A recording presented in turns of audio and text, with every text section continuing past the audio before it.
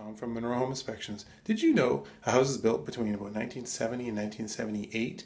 A lot of them have aluminum wiring in them still.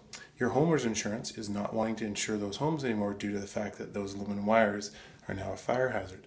Let me show you what I have here in the home I'm in right now. Got a house that actually is built in 1978, 75 to 78. If you look closely, focus that for you, you see that those all those wires up there are all aluminum. They're all silver colored, they're all aluminum. So, this home, if my client still wants to buy it, they have to have all of the actual uh, electrical outlet branch wires pigtailed at each individual outlet so that the uh, copper and the uh, aluminum is connected properly with a special paste so that it doesn't become detached and become a fire hazard. You have 90 days upon completion of your home to get this done. You have to have a licensed electrician come in uh, go through every single outlet in your home at a, a, cost, and it's typically about thirty to thirty-five dollars per outlet to have them replaced.